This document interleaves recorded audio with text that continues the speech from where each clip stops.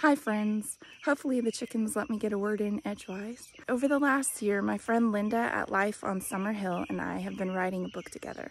We collaborated and combined her decorating skills with my recipes. We both agreed that we're pretty much ready to let the cat out of the bag.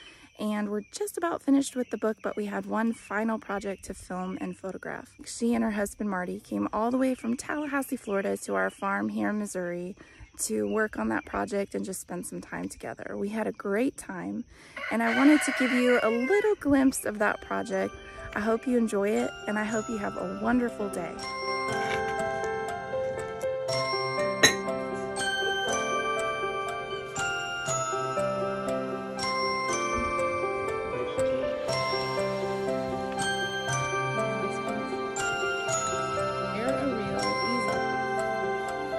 Thank.